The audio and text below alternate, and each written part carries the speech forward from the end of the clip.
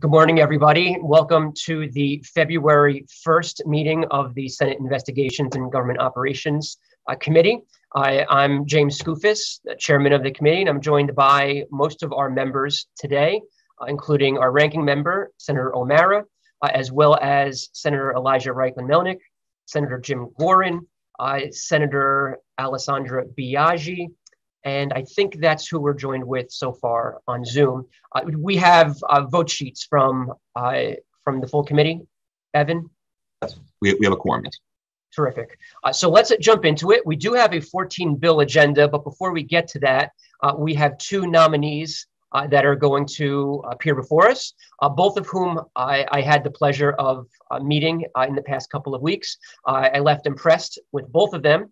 Uh, and, uh, you know, I look forward to uh, their um, sharing some remarks to the committee. and certainly, you know, anyone that has questions should ask questions of the two nominees. and first up, we have Acting Commissioner Jeanette Moy. it's wonderful to see you again. thank you for joining us. And I turn the floor over to you if you want to uh, share some opening remarks. Thank you very much. And good morning, um, Chairman Skoufis, Ranking Member O'Mara, and distinguished members of the Committee on Investigations and Government Operations. I am deeply honored to be appearing before you today. I'm very thankful for Governor Hochul's nomination to serve the great state of New York as the 12th Commissioner of the Office of General Services. There's no greater calling than public service, and I firmly believe the government can transform lives and communities for the better. For over two de- decades, I have led and innovated in the public, private, and nonprofit sectors. At the New York City Mayor's Office, I focus on customer service, technology, and innovation. At the Brooklyn Public Library, I developed and implemented its first strategic plan to modernize its operations and community spaces. As Chief Operating Officer for the New York State Office of the Attorney General, I led the effort to build the nation's premier public sector law firm. And most recently, I served as EVP and COO at the nonprofit Public Health Solutions, which works to reduce health inequities in New York City. What has been consistent across all of these roles is my desire to make institutions and their services better. Today, I bring that same passion to this role at OGS. I love complex institutions and untangling knotty issues. I enjoy working with talented, dedicated individuals, and the OGS team members that I've met along the way have displayed professionalism, dedication, and deep expertise. I feel fortunate to have joined this agency. OGS provides critical supports for state and local government and nonprofits across New York. This agency has kept the state workforce safe during the COVID 19 pandemic and has been dependable through uncertain times. Our work touches across the daily lives of state employees and the public in unseen ways. Because OGS at its core is a service organization. It provides community events that entertain, connect, and promote healthy living. It designs, builds, and maintains critical infrastructure, creates workspaces that foster collaboration among employees, processes human resource and finance transactions on behalf of other agencies. It delivers mail, goods, and services, and navigates logistical needs in response to COVID 19. Now, there are many challenges still left ahead as we adapt and address the hardships placed upon our economy and local communities during this pandemic, and we adapt to the impacts of climate change. We must continue to be good stewards of state resources make data driven decisions, and be nimble in our response. And we must find ways to deliver services faster, smarter, and with the needs of all New Yorkers in mind. I'd like to give you a sense of my priorities for this agency. First and foremost, I want to focus on our capital budget and program on improving our physical infrastructure, community spaces, and service delivery. We have a responsibility to design, build, and maintain state facilities and assets, and we should lead and inspire in our field. Second, our clients and vendors depend on our procurement services and systems. I want to make it easier to do business with us, and as a result, the state. Third, state agencies rely on OGS for many shared services. We must continue to expand our work, improve our technology, and take on new areas that helps the state to find efficiencies and makes us better stewards of valuable public resources. Fourth, one of New York's greatest assets is the diversity of its communities. We must weave equity and inclusion across our operations and programs, including our recruitment, retention, contracting, event programming, and support for employees. And finally, in addition to implementing the vast energy and infrastructure improvements planned at the Empire State Plaza and statewide, I want to integrate resiliency and sustainability across all aspects of our operation and accelerate our response to climate change. We are eager to work with the governor's office and key partners in the public and private sector to implement the sustainability initiatives announced in Governor Hochul's 2020 State of the State address, including establishing three power plants using state properties as a proving ground, electrifying the state's light duty fleet, and increasing the number of charging stations to support those vehicles, and strengthening green procurement standards. To meet these initiatives and more, we will establish an Office of Resilience and Sustainability at OGS to direct our strategy and keep us on track to meet the governor's goals. Committee members, I'm confident that OGS has the talent needed to drive change and to innovate. We will ensure that our services promote efficiency, resilience, sustainability, diversity, and transparency.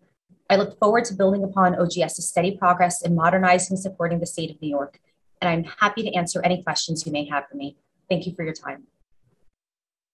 Thank you very much, Commissioner, for the remarks and uh, and sharing your your vision for OGS as well as uh, some of your impressive backgrounds. Um, I will first uh, ask my colleagues if they have any questions uh, for the Commissioner. Yeah, Senator Gaughran. Well, I, I don't really have a question other than I, I was thinking of a question before you uh, went through uh, what your change of focus is, and it and it just seems to me that you're looking to really transform this agency and make a lot of, you know, significant and important changes. Um, have are there aspects of the agency that perhaps uh, you think uh, are not as important uh, and will, uh, you know, maybe uh, not be included anymore going forward? Because it sounds like you're doing a lot of new things. Um, that's a great question, Senator. I'll, I'll start off with this agency is a critical backbone service for every other agency. And so it's not a matter of stepping back, it's a matter of how we focus in each specific service line. When it comes to how we manage our design and construction portfolio, our real estate services, those are incredibly important. It's making sure as we build, we do so smart it's making sure that we're designing for um, workspaces of the future so that as we bring in and onboard new staff that they want to stay here and remain. When it comes to our procurement it's making sure that as we do that work we're communicating and frankly that we're also making sure that it's easy to do business with us. So from my perspective you know the work that we do is in support of other agencies. We can't step back from that mission. It's why we have warehouses. It's why we're moving and um, supporting state agencies. So we're not stepping back. We're making sure that there is innovation in all aspects of the operation. Um, and it's something i think we can do using the team that we have which is incredibly dedicated um, when i came on board it was one of the great privileges was walking through and meeting many of our staff I visited a number of our warehouses, our sites. I visited with our clients, um, and it is very clear that there's uh, there's a great structure and infrastructure in place. My goal is to also work with them to do a bit more innovation, um, and I think that is something they can absolutely achieve. Well, this all sounds great. Thank you so much. Absolutely, thank you. Thanks, Senator Gaughran. I, I believe Governor Hochul proposed a fairly substantial uh, capital appropriation uh, for OGS uh, for a number of projects, one of which I think is repairing um, the, some of the capital, including the, sort of the exterior stairs that have been closed for a long time. Mm-hmm. Um, are, are you depending on those capital funds, or can you share what you're depending on those capital funds to do uh, in the next fiscal year? Um, I don't remember what the number is, but it was a fairly substantial capital number. Uh, it is a fairly substantial capital investment. I think it is a, a, good first step to shore up some of our key infrastructure issues. Um, the stairs are one of them. You know, certainly when it comes to um, water and cold, um, which is you know sort of the state. Um, let me take a step back one of the first things that I did as acting commissioner was I walked nearly every square inch of our infrastructure. I took a look at our chillers, our plants. You know, I was looking at our um, the outside of our buildings to see what the condition is. We absolutely need that allocation. Um, it's something that's going to allow us to handle some of the deferred maintenance that's been taking place. Um, certainly, what we are addressing right now will be ensuring that um, we can bring our spaces up um, from behind the scenes. it allow us to make sure that we can deal with some of the water issues, the energy concerns, um, and it'll help to make the space a little bit more livable. Um, it's one of our priorities, and it is a pretty comprehensive program. Um, I think that from our team's perspective, they were pretty, um, they were very careful to make sure that they were asking for things that were absolutely accomplishable. So it's a program that is going to be built upon every single year. And the first step is going to be around the infrastructure and making sure that we've got a good plan to execute. Um, I believe that the best thing you can do is to uh, measure twice and cut once. And so one of the things that we'll be doing right now is making sure that I've walked through every last bit of that capital program and that, and that request making sure that I understand each component of it and that we're doing so in a way that's um, a good steward again of, of public resources. Well, well, said. Thank you for your answer. Are, are there any other questions? Okay, seeing none, uh, thank you, Commissioner. I, am going to ask you to, to log off uh, while we vote uh, to advance your nomination. And I want to thank you again for, uh, for taking the time to, to appear before the committee. Thank you very much. Um, thank, thank you. you, Senators. Talk soon. Okay, Andrew, is her nomination being sent to Finance? Uh, her nomination would be reported to Finance, yes, Senator. Yeah, yeah. Great, great, great. Okay, so I will make the motion to advance her nomination to Finance. Is there a second? Second, okay, and all in favor of sending uh, Jeanette Moy uh, to the Finance Committee for consideration, say aye. Aye. Aye. Okay. Any nays or, or AWRs? Okay, the nomination is advanced to Finance. Uh, thank you. Uh, the next uh, nominee we have up, if you can turn on your video, uh, we have Acting Commissioner and nominee Maria Imperial. Uh, it's good to see you again. Thank you for taking the time. Uh, Senator O'Mara, if you can, thank you. Um, thank you for taking the time to, uh, to meet with us, uh, Commissioner, and I will turn it over to you for some remarks. Great. Good morning, Senator Skoufis, Ranking Member O'Mara, and members of the Senate Investigation and Government Operations Committee. Happy New Year, too. My name is Maria Imperial, and I'm honored to have been nominated by Governor Hochul to serve as the Commissioner of the New York State Division of Human Rights. Thank you for the opportunity to address you today regarding why I want to serve as Commissioner of DHR and to share some details about myself. My resume reflects that I have extensive experience as a nonprofit leader and attorney, that I've had the privilege of attending highly competitive universities for college and graduate school, and that my career represents an intentional process of building community and advancing social justice principles wherever I go. But the most important part of who I am is where I am from. I grew up in the Bronx. My zip code was 10458, which also happens to be the zip code of the central office of DHR where I now work. I am an original West Side story. My mother told me that I was named after the song from the movie. My father was Italian and my mother was Nicaraguan. They met on the A train. She lived in Washington Heights and he lived in the Bronx, and it was love at first sight. My mother worked as a bilingual school teacher at PS 205, which is about five blocks from the DHR central office. Education was very important to her, and she pushed all of us, her four daughters, to succeed academically. She encouraged me to apply to Harvard College, and I remember how we danced around the kitchen table when I received my acceptance letter. This was before cell phones. After college, I was selected for the New York City Urban Fellows Program, and I worked at the Bronx Office of City Planning. I decided to apply to law school and saw a law degree and the law as a tool to make change, give voice, and build community. After graduating from law school and paying off my loans, I became the general counsel for Safe Horizon, the largest victim services organization in the United States. At Safe Horizon, I started a domestic violence law project because countless domestic violence victims would call the agency in search of an attorney, and I was the only one available. Safe Horizon also began to build emergency, transitional, and permanent housing for DV survivors, and I began to learn more about homelessness and public assistance. I attended a training that was given by an extremely committed advocate, Roland Acevedo, and he eventually became my husband. Our dates included visiting the emergency assistance unit in the Bronx at three o'clock in the morning because this was the time of the night that the rights of the homeless families were being violated. He also took me to Sing Sing and Taconic prisons where he did outreach and was involved in prison ministry.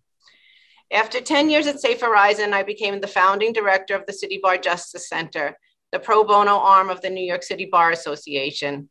The Justice Center spearheaded the legal profession's response to the September 11th tragedy and created a strong community of lawyers in service of victims. In addition to the September 11th initiative, the Justice Center also launched numerous legal projects and community education on the topics of housing, immigration, family law, entrepreneurship, and health. Again, an example of where the law was used as a tool to advance justice and equity. Most recently, I served as the CEO of the YWCA White Plains and Central Westchester, whose mission is the elimination of racism and the empowerment of women. My greatest accomplishment at the YWCA was the launch of the Westchester Center for Racial Equity, which builds community around eliminating racism and reminds us all that none of us can be free until all of us are free. And that's what brings me here today. New York has the proud legacy of being the first state in the nation to enact human rights legislation. The mission of the Division of Human Rights is to ensure that every individual has the equal opportunity to participate fully in the economic, cultural, and intellectual life of the state. Our mission is achieved through enforcement of the state's human rights law, which has evolved over the years to prohibit discrimination in a number of areas. The core services provided by DHR include investigation and prosecution of discrimination case, cases, as well as community education and outreach. We also have a division initiated action unit that is responsible for identifying, investigating, and bringing complaints to remedy large scale and systemic discrimination. I'm inspired by the dedicated staff and the amazing mission of DHR, and it would be an honor to have the opportunity to take all of my education experiences and most importantly, my passion to a statewide level and serve the people of New York by leading the Division of Human Rights, where law is used as a tool to promote justice and equity. Fearless alone, stronger together. Thank you so much for your time and consideration, and I'm happy to answer any questions you might have. Thank you very much, Commissioner. And uh, we had the pleasure of meeting not too long ago. I and I just want to uh, say and share with the committee that you know I, as public awareness and also legislative awareness has dramatically increased when it uh, comes to our state's human rights law. I, I think your nomination and your division is ever important, and I think your background, in my opinion, makes you extremely well suited uh, for this position. So I thank you for, for coming to the committee and answering any questions that we have. I will just lead off with one question. Um, the, the governor has proposed to, uh, to establish a new uh, hate uh, crimes unit, right? If I'm not mistaken, within the division. I and I, I believe you know this this would be new. Uh, we've never had something like this before in the division, and I just wonder if you can sort of just illuminate uh, you know, sort of the reasons behind that. Obviously, hate crimes are, are uh, at uh, an astronomical level uh, over the past couple of years. I suspect that was the impetus. But do you have uh, a sense or vision for what this unit will look like uh, if enacted in the budget? Yes, I'm, I'm very excited about the prospect of creating this anti-bias unit as well as launching an anti-hate, no hate in our state campaign.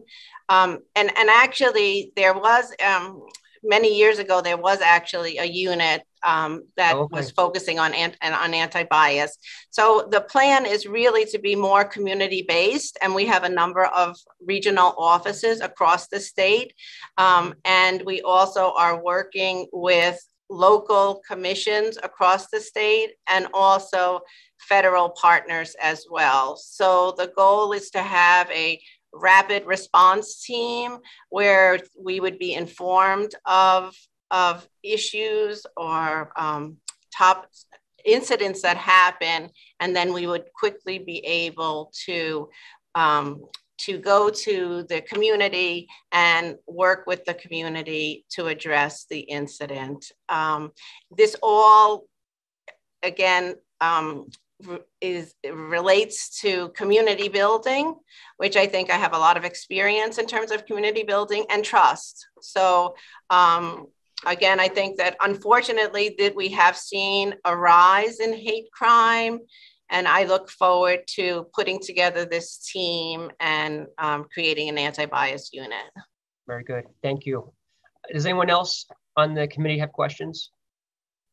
Not, not a question, but just having uh, had a chance to speak with uh, the commissioner, uh, I think just yesterday. I was very impressed with, with her background. Um, really appreciate the nomination from the governor and, and look forward to, to voting to move her to the floor and or move her to finance and hopefully get it confirmed. Thank you. Senator Gaughran? Uh, similarly, uh, I had the opportunity to uh, speak with the commissioner, and she also uh, addressed and came up with some, I think, some really good ideas as to how we can implement some of the changes we've made to deal with housing discrimination. Um, we've unfortunately have seen, uh, you know, on the rise, particularly on Long Island. So uh, I'm looking forward to working with you. Okay, you were off the hot seat relatively Oh. quickly. Uh, it's good to see you again. I'm going to ask you. you uh, if you could log off so we can uh, vote on your nomination. Thank, Thank you you, so much. Thank you. Okay, uh, I will uh, make a motion to move the nomination of uh, Maria Imperial, uh, our nominee for the Division of Human Rights, to the Finance Committee. Is there a second? Second from Senator Reichlin Melnick. Uh, All in favor? Aye. Aye. Any opposed or AWR? Uh, Okay. without rec, Without rec from Senator O'Mara. Uh, so the nominee advances to the Finance Committee. I want to thank uh, the committee for um, uh, for uh, for the questions, and we are now going to move on to our 14 bill agenda. So uh, again, our our committee clerk is Evan Gallo, and we're going to start with uh, from the top S228A. Senate Bill 228A, sponsored by Senator Disco, an act to amend the legislative law in relation to establishing a Veterans Internship Program, VIP-NY. Okay, I'll make a motion. Is there a second? second, Second from Senator O'Mara. All in favor? Aye. Any opposed or AWR? The bill moves to finance. Uh, next up is S566A. Senate Bill 566A, sponsored by Senator Hoylman, an act to amend the executive law in relation to extending the statute of limitations for claims resulting from unlawful discriminatory practices to three years. Uh, is there a motion? Senator Gaughran makes a motion. Second from Senator Reichlin Melnick. All in favor? Aye. Any opposed or AWR? Uh, the bill, uh, the bill moves to the floor. Uh, next up is S702A. Senate Bill 702A, sponsored by Senator Kaplan, an act to amend the tax law in relation to establishing small business savings accounts. I'll make a motion. Is there a second? Senator Gaughran seconds. All in favor? Aye. Any opposed or AWR? Uh, the bill advances. Uh, sorry, the bill is referred to finance. Um, next is S 812A. Senate Bill 812A, sponsored by Senator Biaggi, an act to amend the executive law in relation to establishing a toll-free confidential hotline for complaints of workplace sexual harassment. Uh, is there a motion? Motion from Senator Gaughran, a second from Senator Reichlin Melnick. All in favor? Aye. Any opposed or AWR? Uh, the bill advances. Next, S 936. Senate Bill 936, sponsored by Senator Krueger, an act to amend the tax law in relation to the enforcement of delinquent tax liabilities by means of the suspension of licenses to operate a motor vehicle. I'll make a motion. Is there a second? I'll second. Se- Second from Senator Reichlin Melnick. All in favor? Aye. Any opposed or AWR? nay, Nay from Senator O'Mara. Uh, the bill uh, advances. Next is uh, S 936. Evan, 1745. 1745. My mistake. Thank you. Senate Bill 1745, sponsored by Senator Skoufis, and I commend the alcoholic beverage control law in relation to establishing a temporary New York craft beverage permit. I'll make a motion. Is there a second? I'll second. Second from Senator Reichlin Melnick. All in favor? Aye. Aye. Any opposed or AWR? Bill advances. Next, S 1958. Senate Bill 1958, sponsored by Senator Krueger, an act to amend the executive law in relation to clarifying that workers shall not be punished or subjected to discipline by employers for, um, for lawful absences. I'll make a motion. Is there a second? Second. Senator Gaughran seconds. All in favor? Aye. Aye. And any opposed or AWR? Uh, The bill advances. Next, S 3120. Senate Bill 3120, sponsored by Senator Kavanagh, an act to an act authorizing and directing the Committee on Open Government to study proactive disclosure as a means of increasing transparency and access to government information. Is there a motion? Motion from Senator Gaughran, second from Senator Reichlin Melnick. All in favor? Aye. Any opposed or AWR? nay, Nay from Senator O'Mara. Uh, nonetheless, the bill is reported. Next, S3395A. Senate Bill 3395A, sponsored by Senator Bernardus, an act to amend the executive law in relation to the definition of employer for purposes of the human rights law. I'll make a motion. Is there a second? Second from Senator Gaughran. All in favor? Aye. Aye. Any opposed or AWR? Nay. Nay from Senator O'Mara. A very enthusiastic nay. Uh, I'll, I'll note as well. Uh, the bill's reported. No, it's just a mediocre. That was just a mediocre. Next up is S3502A. Senate Bill 3502A, sponsored by Senator Hinchey, an act to amend the tax law in relation to the Farm Workforce Retention Credit and to amend Chapter 60 of the laws of 2016, amending the tax law relating to creating a farm workforce retention credit in relation to the effectiveness of such provisions. I, I will make a motion. Is there a second? Second from Senator Reichlin Melnick. All in favor? Aye. Any opposed or AWR? The bill's referred to finance. Next, S4609. Senate Bill 4609, sponsored by Senator Hoylman, an act to amend the executive law in relation to the definition of sexual orientation as applicable to the human rights law. I'll make a motion. Is there a second? Second. Second from Senator Gaughran. All in favor? Aye. Any opposed or AWR? The bill is reported. I home stretch here. S4915.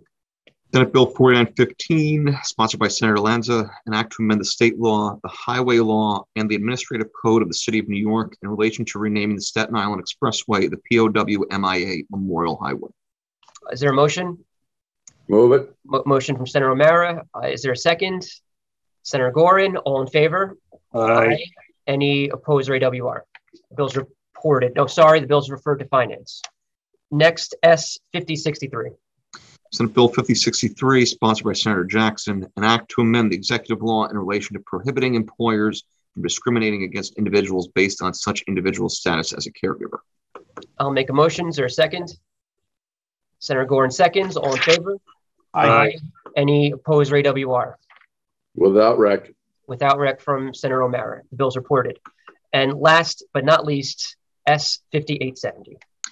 Senate Bill 5870, sponsored by Senator Gianaris, an act to amend the executive law in relation to retaliation against certain unlawful discriminatory practices by employers. I'll make a motion. Is there a second? Senator Gaughran seconds. All in favor? Aye. Aye. Any opposed or AWR? Uh, the bill is reported. I thank you very much to everybody, and until we meet again, have a great day. Mr. Chairman.